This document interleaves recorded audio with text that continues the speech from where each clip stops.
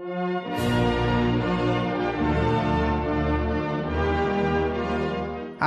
welcome back Kapitan. Hari ini kita udah siap kaya raya dalam semalam, yes? Kebetulan nih Kapitan, kita punya target juragan narkoba yang kaya raya dan dia punya penjaga yang pada bodoh semua. Gimana kalau kita rampok aja Kapitan, yes? Tapi gimana kalau kasih like dulu Kapitan, yes?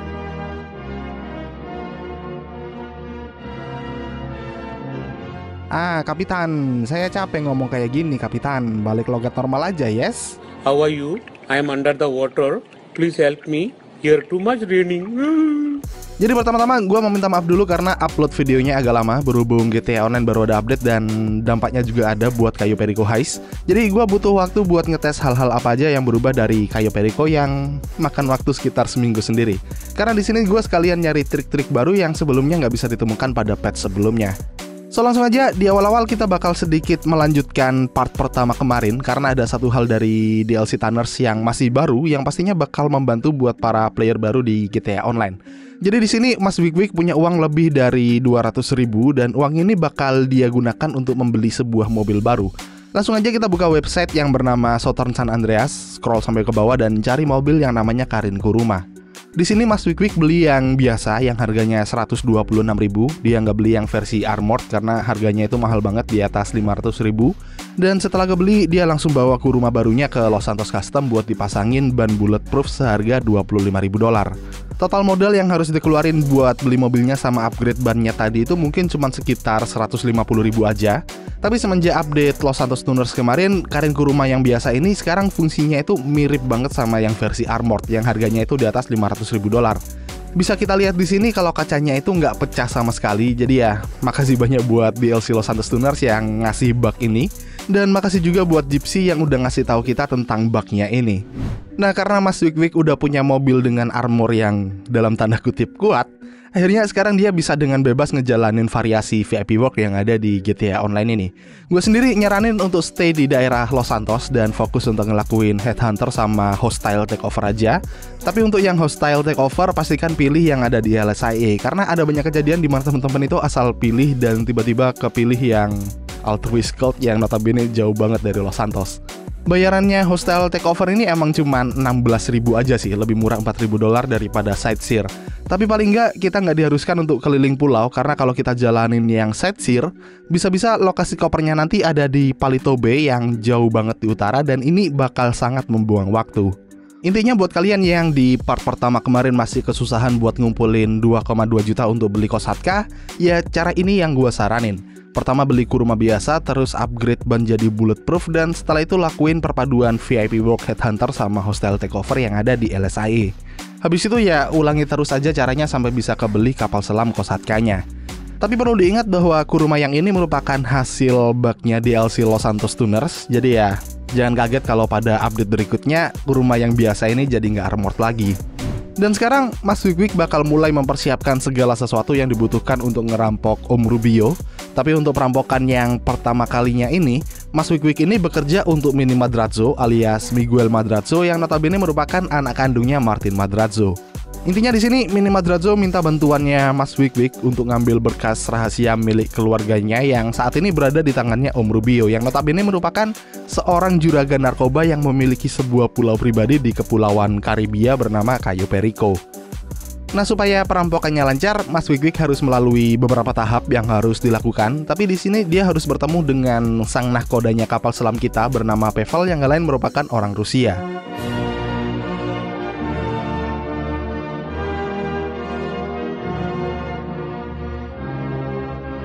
Yes. Untuk ketemu Pavel pun kita tinggal buka menu interaksi, terus pilih service, kemudian pilih kosatka dan pilih yang request kosatka. Nanti akan muncul sebuah icon bergambar kapal selam di peta dan Mas Wik Wik cuman perlu pergi ke sana aja. Dan untuk pergi ke sana kita nggak perlu renang jauh-jauh karena di menu interaksinya ini kita bisa panggil sebuah kapal bernama Dinghi yang bakal muncul di dekatnya Mas Wik Wik. Kapalnya ini gratis tis, dapat sekalian waktu kita beli kapal selam Kosatka dan selain itu kita bisa request helikopter bernama Sparrow kalau udah dibeli yang harganya itu mencapai 1,8 juta dolar kalau nggak salah. Setelah itu ya kita masuk aja ke kapalnya dan bertemu sama si Pavel. Nah, tahap pertama yang harus dilakukan jelas adalah scoping alias gather intel alias memantau ada apa aja di Pulau Cayo Perico.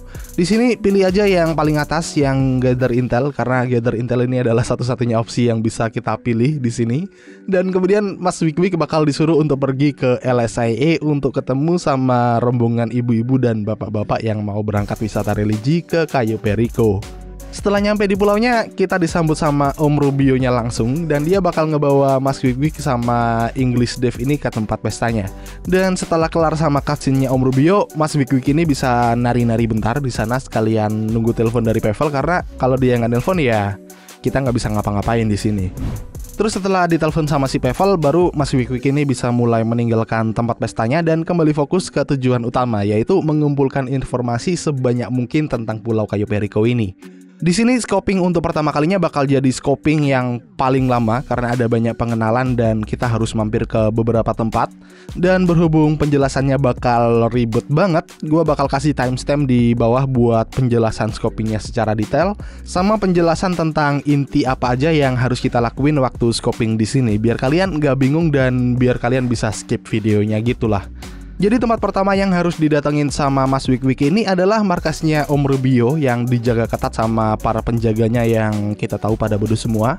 Untuk bisa ke sana sayangnya Mas Wik Wik harus main walking simulator karena rada susah untuk nemu motor yang bisa dipakai di misi awal ini. Tapi tenang aja karena untuk misi scoping selanjutnya kita nggak perlu lama-lama di sini.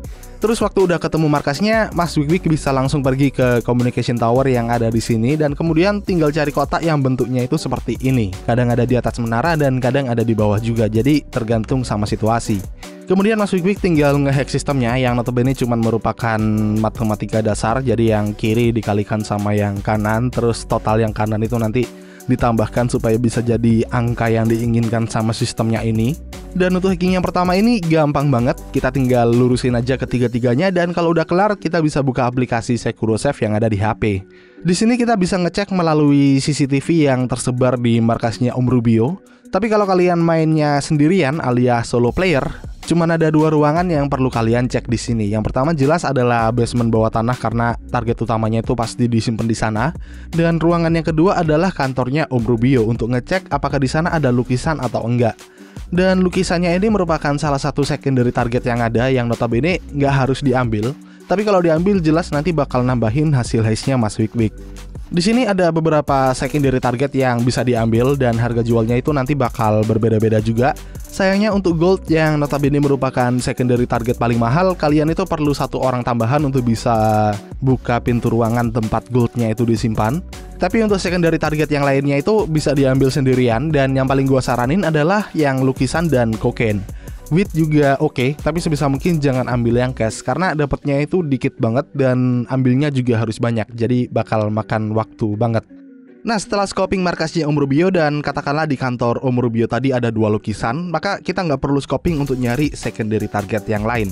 Tapi kalau cuma ada satu lukisan atau bahkan nggak ada sama sekali, kalian bisa mampir ke tempat-tempat lainnya untuk mencari tahu secondary target apa aja yang bisa diambil. Ada beberapa lokasi penyimpanan yang tersebar di seluruh Cayo Perico dan untuk tahu lokasinya di mana aja, kalian bisa cek video yang udah gua taruh di kanan atas. Sebenarnya cuman itu aja yang perlu dicari waktu scoping, yang secondary target pun juga sifatnya sangat opsional, bisa dilakuin bisa juga di skip. Tapi untuk heist pertama, gue sangat menyarankan untuk mampir ke salah satu lokasi penting yaitu Drainage Tunnel. Kalian tinggal cari aja kapal yang bisa dipakai, terus pergi ke tempat ini. Gak perlu difoto juga, dideketin aja udah cukup. Dan kalau udah ada notifikasi di kiri bawah, berarti drainage tunnelnya ini udah bisa dipakai waktu heist nanti. Oh ya untuk lokasi-lokasi yang seperti ini cuman perlu difoto sekali aja. Jadi tempat-tempat kayak main dock, terus drainage tunnel atau bandara atau yang ini itu cuman perlu difoto sekali aja dan bakal tetap ada di heist-heist selanjutnya.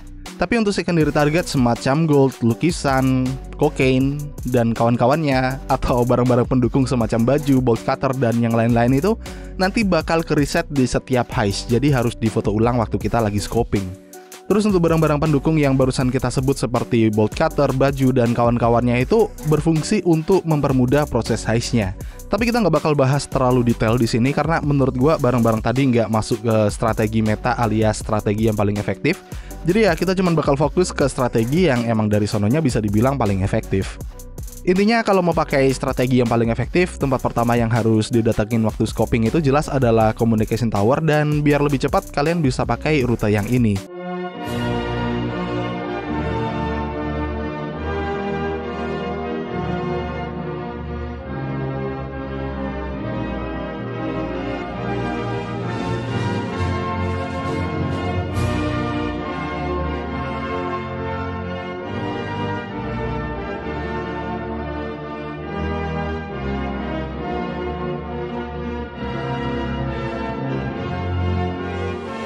Setelah itu cari kotak yang ini dan tinggal dihack aja sistemnya dan kemudian kita lihat CCTV yang ada di dalam markasnya Om Rubio dan kemudian cari tahu target utamanya apa dan yang terakhir cek juga di kantornya Om Rubio itu ada lukisannya atau enggak. Kalau ada dua lukisan kita nggak perlu cari secondary target yang lain tapi kalau nggak ada ya kita bisa cek gudang yang sesuai sama rute kaburnya kita. Kalau kaburnya lewat Mendok bisa cek gudang yang ada di sini tapi kalau kaburnya lewat bandara di sana juga ada tiga gudang, dua di hangar dan satu di bagian sini. Tapi kalau lagi nggak beruntung dan waktu scoping adanya cuman cash semua ya diterima aja. Yang penting tasnya itu bisa penuh biar kita bisa dapat duit tambahan plus dapat bonus dari Elite Challenge. Kemudian setelah scopingnya selesai, Mas Wik Wik bisa langsung ngejalanin semua persiapan yang harus dilakukan. Di tab kedua yang namanya prep ini, kita bisa milih nanti pergi ke pulaunya pakai kendaraan apa. Dan ini cuma perlu diambil satu aja. Berhubung kita tadi mau pakai cara yang paling cepat dan paling efektif, maka di sini Mas Wik Wik pilih yang Kosatka berhubung tadi dia udah scoping drainage tunnel di markasnya Om Rubio. Untuk misi prepnya Kosatka ini bisa kita selesaikan dalam waktu 5 menit aja, caranya juga gampang banget. Kita tinggal fast travel ke lokasi yang dekat sama tempat misinya, terus setirin kapal selamnya sampai ke dekat kapal selamnya Meriwether. Setelah itu tinggal diparkir aja waktu lagi ada di bawah laut kapal selamnya tadi. Kemudian kalian tahan joypad kanan, kalau di keyboard sayangnya gua nggak tahu mencet apa. Nanti bakal ada caranya di kiri atas ini dan selama kapal selamnya itu udah aktif autopilotnya, maka kita bisa keluar dari kapal selamnya ini waktu dia ada di bawah air. Setelah itu ya kita tinggal masuk ke kapal selamnya Meriwether, tinggal bunuh aja semua penjaga yang ada di sana dan kemudian cari yang namanya sonar jammer yang dibutuhin sama si Pavel. Setelah diambil kita bisa bawa balik sonar jammernya tadi ke kapal selamnya kita tanpa harus ada drama tembak-tembakan sama pasukannya Meriwether yang udah jaga-jaga di permukaan air. Terus untuk misi-misi di tab equipment ini harus kita lakuin semuanya dan semuanya itu bisa dibilang cukup gampang, nggak perlu kita bahas terlalu detail di sini. Dan ada satu misi tambahan di sini yang wajib dilakukan yaitu weapon loadout. Di sini kita bisa pilih senjata apa yang bakal kita bawa ke Kayu Perico. Gue sendiri jujur aja suka bawa yang crack shot, kadang pakai yang agresor juga enak. Jadi ini tergantung sama seleranya kalian masing-masing. Untuk info senjata apa aja yang masuk ke setiap kategori, kalian bisa pencet tombol info yang ada di bawah ini. Dan selain itu, gue juga nyaranin untuk beli supresornya buat jaga-jaga meskipun sebenarnya nggak dibutuhin juga. Untuk misi prep lainnya yang ada di tab disruption ini sebenarnya nggak perlu dilakuin karena ribet dan makan waktu banget. Jadi ya lebih baik di skip aja. Tapi kalau kalian emang pengen variasi misi waktu ngerampoknya nanti, mungkin kalian bisa coba-coba sendiri nanti. Tapi yang pasti disruption ini nggak masuk ke strategi meta alias strategi yang paling efektif. Jadi ya langsung aja sekarang kita mulai berangkat untuk ngerampok Om Rubio. Di tab finale ini approach vehicle-nya jelas kita pilih yang Kosatka, terus infiltration point pilih yang drainage tunnel, escape point bebas pilih yang mana, tapi gua sendiri selalu pakai yang main dock karena di situ ada dua gudang penyimpanannya secondary target. Dan untuk senjatanya pilih yang udah kita selesaiin prepnya tadi, entah crack shot atau agresor atau yang satunya. Terus untuk time of day juga sedikit berpengaruh karena kalau kita lakuin pas malam hari, nanti pengelihatannya para penjaga itu bakal sedikit berkurang. Tapi kalau kalian udah terbiasa main kayu Perico Heist ya lama-lama bakal nggak terasa banget perbedaannya. Nah untuk heist pakai Kosatka ini ada dua cara yang gampang banget. Pertama kita bisa pakai cara ngebunuh penjaga untuk dapetin kunci gerbang Dan yang kedua pakai cara tanpa ngebunuh sama sekali Dua-duanya bisa dilakuin dengan gampang tergantung dari pilihannya kalian masing-masing untuk cara yang pertama, Mas Wik ini cuma perlu bunuh beberapa penjaga sampai ada penjaga yang ngedrop kunci gerbangnya. Nanti bakal ada icon yang seperti ini di minimap dan setelah ketemu, kalian bisa ikuti rute yang ini untuk masuk ke basement bawah tanahnya. Di sini ada satu keypad yang harus dihack dan hacknya pun gampang banget tinggal diurutin aja dari yang paling atas itu jari yang paling kecil, terus baris yang kedua ini tinggal geser aja dari potongan yang pertama tadi, dan yang ketiga ya geser lagi dari potongan sebelumnya, dan gitu terus sampai selesai. Ini hackingnya gampang banget kok, tinggal kita urutin aja intinya. Habis itu kalau udah masuk kita tinggal ambil aja target utamanya. Kalau targetnya ada di brankas nanti si Pavel bakal ngirim sebuah SMS berisi kodenya. Kalau ada di dalam kaca ini ya tinggal dipecahin aja kacanya. Dan setelah itu tinggal keluar pakai rute yang gampang ini. Nggak sampai 2 menit seharusnya udah keluar ngerampok markasnya Om Rubio. Terus untuk alternatif kedua yang tanpa ngebunuh, kalian bisa masuk ke kantornya Om Rubio pakai rute yang seperti ini.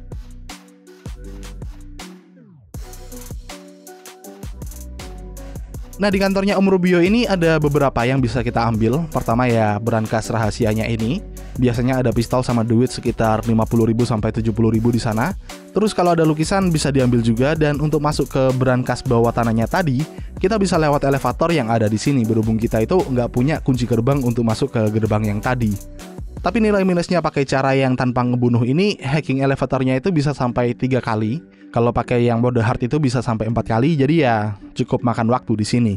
Beda cerita kalau kalian udah punya kunci gerbangnya tadi, habis dari kantornya Om Rubio, kalian bisa terjun lewat sini, tapi perlu hati-hati karena kadang ada penjaga yang lagi patroli di bawahnya itu. Dan setelah itu kita bisa masuk ke basement bawah tanahnya tadi lewat pintu gerbang yang masuknya lewat sini.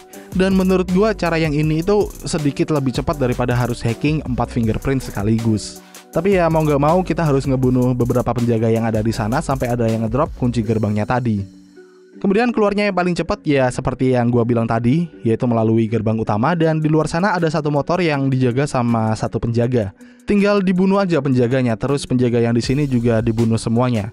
Dan kemudian CCTV-nya sebisa mungkin ditembak dulu karena setelah update Los Santos Duners kemarin, CCTV-nya di Cayo Perico ini jadi jauh lebih sensitif, jadi ya sebisa mungkin kita hindari.